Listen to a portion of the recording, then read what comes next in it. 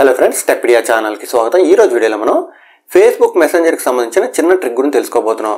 ఈ ట్రిక్ పాత అయినప్పటికీ కూడా ఇప్పటికీ చాలా మందికి అయితే మాత్రం తెలియదు మీకు ఈ ట్రిక్ గురించి తెలుసో లేదో తప్పనిసరిగా కామెంట్ చేయండి.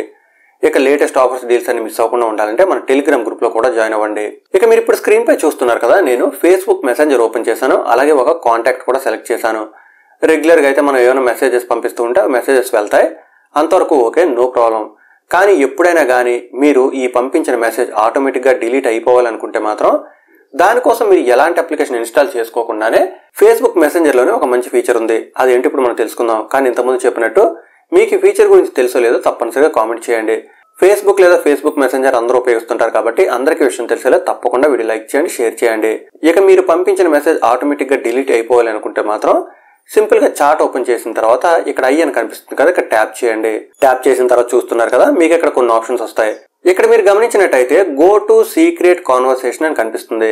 అలాగే మీరు గమనించినట్టయితే ఇక్కడ లాక్ సింబల్ కూడా ఉంటుందన్నమాట.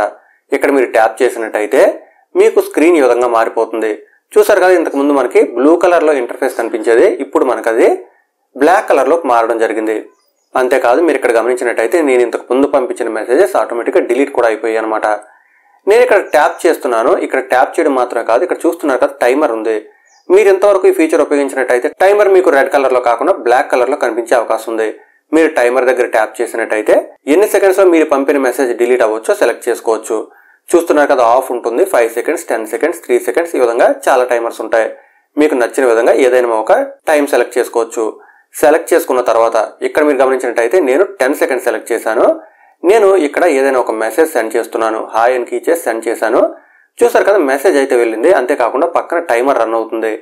ఎప్పుడైతే ఈ టైమర్ కంప్లీట్ అవుతుందో అవతల వాళ్ళకు వెళ్ళిన మెసేజ్ అంటే ఎవరికైతే మీరు మెసేజ్ పంపించారో రెండు చోట్ల నుంచి కూడా అది డిలీట్ అయిపోతుంది అనమాట మరొకసారి చూడండి. నేను హే అని కీ చేసి పంపించాను.